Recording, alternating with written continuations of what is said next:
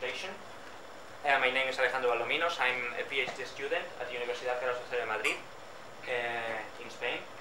And I'm going to present this paper. So it is about uh, physical activity recognition, which is an, a field, a study, a field of study, which increases in interest uh, right now. And it has increasing interest uh, because of different reasons. First, it is not a surprise for any one of us that uh, physical activity is quite related to healthy habits and actually the lack of physical activity may carry out some uh, diseases, specifically uh, heart-related diseases, okay? And not all physical activity is the same, of course. Uh, different physical activities require different efforts, and it also has associated different, for instance, uh, calorie burned, and so on. So for both medical purposes and also for gamification purposes, we are interested in knowing which activity a user is, uh, which physical activity a user is performing in order to know how much effort he's spending in performing that activity. There is also increasing uh, interest in this field because of the recent appearance of health apps, for instance in the iOS market and Google Play, and also because of the recent appearance of wearable devices such as smart, uh, smart watches or activity wristbands such as this one, which measures the activity of, of, of, a person, of a, of a user across the time uh, due to uh, due to the, um, the configuration of sensors, for, for instance accelerometers and, and gyroscopes and in some cases also heart rate monitors. So for performing uh, physical activity recognition, we will follow this uh, so-called activity recognition chain, which is basically a sequence of steps which goes from the acquisition of data uh, by sensors placed across the body of a, of a, of a user or a, of a subject, uh, to pre-processing of that data, then a segmentation or transformation of this information, to later perform feature extraction. And in the end, we will have something uh, which is basically a, a, matrix of instances in rows and features in columns. And we can apply um, general purpose classifiers found in the literature uh, in order to perform this physical activity recognition. So let's start from the beginning. The first step in the, in the activity recognition chain is data acquisition. And when we talk about uh, data acquisition for physical activity recognition, we can usually find two different approaches. One is um, ad hoc sensors placed across the body of a person, and the other is um, pervasive sensors, such as those that we can find in uh, smartphones or this kind of smart watches. In this case, we have used a publicly available dataset at the um, uh, University of California, Irvine uh, Machine Learning Repository, which is known as PAM PAMAP and stands uh, for Physical Activity Monitoring for the Aging Population. So this was um, a dataset introduced by Reiss and Stricker in 2011 and the fact that we use this dataset, I think it's interesting because, uh, well, because of two main reasons. The first one is that it establishes a baseline for comparing our results, and the second one is that it enables a scientific community to replicate these experiments. Okay. Uh, in this dataset, we find that we have 12 different activities. For instance, lying, walking, running, uh, going upstairs, going downstairs. Okay. And we have a protocol for eight different subjects to perform those activities. In this case, we do not use pervasive sensors, but rather we use uh, uh, ad hoc sensors, which are comprised of a heart rate monitor and three inertial measurement units. Those inertial measurement units are placed uh, in the in the wrinkle, the the, um, uh, the wrist, and the chest, and they have sensors for temperature monitoring, accelerometer, gyroscopes, uh, magnetometers, and also for orientation. Uh, anyway, the the the Reiss and Stricker states that the orientation data is invalid. In the next step of the activity recognition chain, we will perform some basic preprocessing of this data. Uh, first, we will remove timestamp from the original dataset because we don't need time, the timestamp to perform physical activity recognition. We will remove the orientation information because, as, as, as I said before, it was stated to be invalid by the authors of the dataset. And we will remove transition instances. And these transition instances are basically some instances which are uh, performed by the subjects after they end up uh, performing one certain activity and before they start to perform the next activity. So basically they are noise between different activities and are not useful for training a classifier. And finally, we will estimate missing values. Those missing values are due to the fact that, um, that the sensors, the sensors placed across the body, are connected to a, to a wireless um, unit which is um, taking uh, wirelessly this, this data, this information. So, of course, there may be some of this data which is dropped off because of connectivity problems. And what we have done is estimate that missing values from the rest of the, of the, of the values, okay? So this is the pre-processing stage, and the next stage we will perform signal segmentation. For signal segmentation, what we, what we have done is we have defined a sliding window across the instances that we have, across our raw data. And for that, for each of that window, which has a size of uh, 512 instances, we have computed the discrete Fourier transform. Uh, concretely, we have used uh, the fast Fourier transform algorithm because of efficiency. And when we have computed the, the DFT, what we have done is that we have an output of 512 um, uh, values again, and we have computed a statistical summary. So basically, we have computed several, um, seven, seven statistics, which are the mean, the median, the standard deviation or variance, uh, the maximum, minimum, and two percentiles. And by doing this, what we have is that we have transformed our original data, which was in the in the time domain, into the frequency domain. So an instance before uh, was representing a certain point in time for, for the sensors, and right now it has a summary, a statistical summary of uh, the 512 like uh, last point in times. Okay. The, now the next step involves feature extraction, and this is actually uh, mm, the core of our work. Okay. After performing this, the signal segmentation, we have a resulting set of 280 features. This is not a huge dimensionality. Uh, it's, it, it, I mean, it's relatively medium size, but we think we can reduce it. And by reducing it, we can gain in performance in two different senses. The first sense is that we can, of course, reduce the time for training a classifier and for uh, performing classification. And the second is that we can gain uh, in accuracy by removing uh, features or attributes that are not required or are not useful. So, of course, as we have 280 features, we can model this as a binary optimization problem. For instance, we, can, uh, we could uh, take a binary string of, of size 280 and when, uh, whereas a 1 means that the attribute is considered for the classification, and a 0 means that the attribute or the feature is dropped off and is not considered. And we could use any standard state-of-the-art technique for, for binary optimization problems, such as, for instance, a genetic algorithm. The fitness function we will define is the accuracy of a random forest classifier. We'll see later why. And I must say here that we have used a local per subject optimization. Uh, what, what, this means is that we have um, optimized a set of features for each different subject. Okay. Of course, we don't want a, a subject-oriented classifier. Rather, we want a general-purpose classifier. But we'll see later how we have uh, moved from this local optimization into a global optimum. Okay. Um, so now let's talk about how do we perform this uh, binary uh, optimization problem. How, how do we solve this task? And I said before we could use any kind of technique, for instance, um, genetic algorithms, but we have used a technique uh, which was introduced by Pedro Isasi and, and, Bernard Manderick last year, which is called Monte Carlo schemata searching. And uh, Monte Carlo schemata search is um, basically a variation uh, of uh, Monte Carlo tree search, but the nodes of the tree are not states in a game, for instance, such as is the case of MCTS, but rather are binary strings which represent schemas. A schema is a binary string which can contain this kind of star symbol, a wildcard. And a wildcard can take either a value of 1 or a 0, indistinctly, okay? So, a schema. Um, a schema is basically a binary string with that kind of wildcard uh, symbol, which can represent uh, either a 1 or a 0. So a schema can represent several individuals, okay, a set of individuals. Uh, for our algorithm, we start with the root of the tree, which is um, the most general schema, which is, of course, uh, a binary string containing all, um, in this case, 280 stars or wildcards. Okay, so that represents all possible set of, of individuals, of solutions. And then what we have done, of course, when we start, we just have the root, and we know that we have to span the root. Okay, but when we have an, a tree, an arbitrary uh, tree, uh, which may be unbalanced, we have to choose which node is the one that we are going to expand next. And for that, what we are going to, to do is compute which of all these, these nodes is the most promising. So we'll uh, compute this function here. By the way, k here means the kth node, and sk means the schema represented by that node in the tree. Okay, so we compute that function m of sk, of which um, computes a trade-off between exploitation and exploration. This exploitation function, this importance function, we're going to see later how it is computed. And exploration, basically what it's doing is trying to um, promote those nodes uh, who have not been uh, evaluated too much times. Basically, this value here, to simplify, is the number of, of times that, that a certain node is, uh, has been evaluated. Uh, so when this is small, this means that uh, the node has, uh, has not been evaluated too much times, and this value is bigger. And this C is basically a parameter uh, which may be tuned in order to give more importance to exploration or exploitation.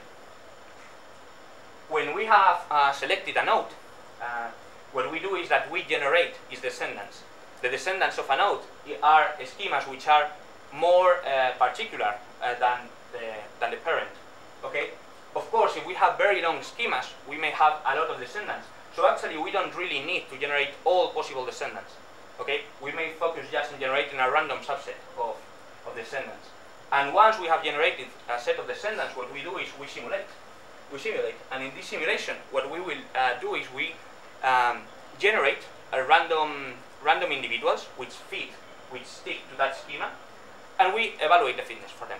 If you remember, the fitness we said before was, this is the fitness of an individual, which was the, um, the, um, um the result, the accuracy uh, obtained using a random forest classifier. And what we do here is, okay, we have uh, a set of individuals generated randomly, which adhere to a certain schema. And what we do is we compute the average uh, accuracy, and that's this value, b of scale, okay? And once uh, we have that, that is the importance value the first time we um, uh, we evaluate a node, okay? If you remember previously, we saw that for the exploitation phase, we computed this value, f of, f of uh, scale.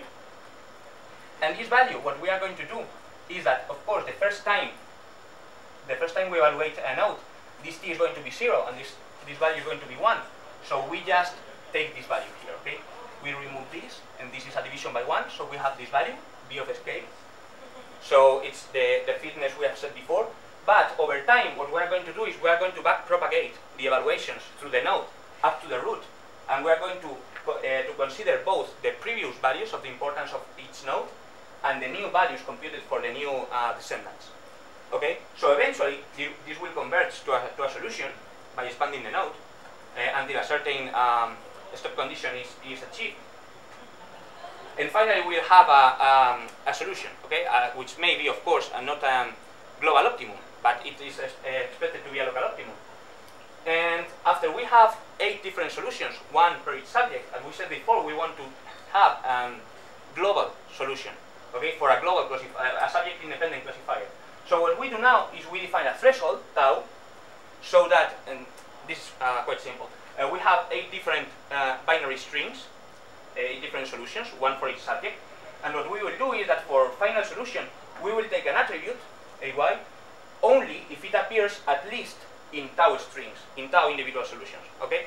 So from this, uh, using this procedure, we move from eight different um, local solutions to a global solution. Uh, in the end, we have a binary string which uh, contains um, certain attributes and removes other attributes. And with that, we can already perform classification. We tried different techniques, uh, for instance, uh, naive Bayes and decision trees, but we saw that the best results were achieved using random forest classifier. That's the reason why we uh, used for the, after a preliminary evaluation, we decided to use random forest classifier also for the fitness computation. So let's take a, a look at the results. First of all, um, we can see how the number of features evolve with the value of tau. Of course, it is expected that as the threshold increase, the number of features decrease significantly. And what we can see is that with uh, a value of tau of 1, we have 280 features, and with a value of tau of 8, we have only 4 features. Okay? Uh, here we can see the results obtained during the local optimization process, uh, the Monte Carlo tree, uh, the Monte Carlo schemata search optimization. And we can see that the results are quite good, and in some cases they even approach quite much to to 100%. But of course this is tricky because uh, this is a um, local optimization. So basically we have um, an algorithm which has optimized, uh, which has specified or uh, has overfitted a certain subject, okay? And we don't want this. So after global optimization, we have the results here. Uh, we have used a technique which is also uh, explained by uh, and Stricker in the original paper, which is leave one subject out cross-validation. This basically means that we train a classifier with seven subjects and test with the other subject, so that we are uh, trying to guarantee that there is no bias in the classifier um, uh, overfitting a certain subject, as it, as it happens in the local optimization. So here we have eight columns, one for each subject, and we have eight rows, eight, uh, one for each different value of tau. And we can see the results for each different subject. Uh, and, if we look at, take a look at the average, uh, the average accuracy, we can see that the best result is 93.74%, which is uh, achieved with a value of tau equals 2. But more interestingly, we can see that when tau equals 5, we have a value which is 93.17%. Okay? And this is interesting because if we take a look at the number of features for each value of tau, we see that when tau equals 5, we have 102 features. So that means that we have gone from 280 features to 102. So it's roughly um, a, a, bit more than a third of the, of the original features. And the result is still of a 93.17%, which is quite close, within 0.6 uh, percentile points from the best solution. And this is interesting because we have reduced significantly the, the number of features. Okay, and also the results uh, they are they are not well they are not uh, placed here in the in the presentation, but are a bit uh, higher uh, than those uh, obtained by Reiss and Stricker because they achieve between an 89 and 91 percent of accuracy, and we have a 93 to 17 percent. So as a conclusion, uh, we have we have seen that there is an increasing interest in physical activity recognition because of different factors, and we have described activity recognition change chain as a sequence of steps to be performed uh, to carry out this task. We have used the PAMAP uh, dataset, which is publicly available at uh, UCI Machine Learning Repository. We have performed basic preprocessing, then we have um, computed the, the, discrete Fourier transform in order to uh, convert this signal from the time domain to the frequency domain. We have used this technique, Monte Carlo schemata search, which was introduced by Pedro Isasi and, and Bernard Manderick uh, in order to perform binary optimization of the solutions and after classification we have achieved an accuracy of over 93%. Uh, there is some future work which can be carried out to improve this paper. The first of all, we can optimize not, um, not features, but sensors directly. This has two main advantages. The first one is that we can reduce the search, the search space because there are less sensors than features. Okay? And we can also reduce cost because if we know that the sensor is not required at all, when we build this kind of uh, wearable devices, we can not include uh, we can uh, decide to not include that sensors because they are worthless and then uh, we are optimizing cost okay? Uh, we could perform a global optimization from the very beginning and this is a very interesting uh, future work which we are already working in. Uh, but the main disadvantage is that it's more time consuming because payments require, require much more time okay? And but we are but we expect to have um, better results higher accuracy. And finally it will be interesting to try uh, this system, this activity recognition system, using um, wearable devices. Because even when we, uh, we may expect that the accuracy is lower, because uh, those sensors are not as specific as other uh, sensors placed uh, across the body, uh, it is much more convenient and comfortable for users. Because a user normally will not wear ad hoc sensors all the day, but it is more, more common that they can wear a wristband like this one 24 hours a day. Uh, I just want to acknowledge the European Commission because it was a, this is um, the result from an European, well, one of the results uh, from an European project which is uh, SEACW, uh, which is which uh, tries to promote active and healthy aging across the European population. And this project was co-funded by, by this entity. So thank you very much for your attention and if you have any question, please do not hesitate to ask it. Thank you. So any question to this very interesting presentation? No? No question? Well, I have a question for you. It's about um, the phase stage when you collect uh, information from sensors, mm -hmm. then the processing, the uh, processing. Uh, how you consider the different format data of the different sensors? Mm -hmm. uh, is that an issue in this uh, in this research, or you only consider what the different sensors, the features? using the, the features. But the data itself is uh, an issue. In, in this case, we have decided to use this uh, publicly available dataset because we didn't have uh, resources for, for really for data acquisition by yourself. We didn't have uh, hardware and we didn't have subjects to perform uh, uh, this kind of data acquisition. So we decided to use a publicly available dataset. And from this publicly available dataset, what we have done is we have performed the basic preprocessing, which in some cases is somehow proposed by the original authors, because for instance they tell you directly to remove the orientation. So that's uh, they ask you to do so in your experiment, so we have done, of course. And and so we follow really what is um, really the, the core of this work, as I said before, is feature extraction because uh, preprocessing and segmentation is quite similar to what they do, to what Reiss and Stricker do in their experiments also, and are is really uh, it really has no a lot of uh, place to innovate here. Uh, there are no too much room to, for innovation here. Uh, so we have used very standard techniques, and all the core uh, of our work is really has to do with, with binary optimization of features and Monte Carlo schemata search for this task. And the the different case that you scale up is uh, also solved by the, sorry, the scaling up is uh, used. Scaling up. Uh, well, in this case, in this case, as we have uh, 280 features, uh, we did uh, we do not really know how this scales up when we have more features.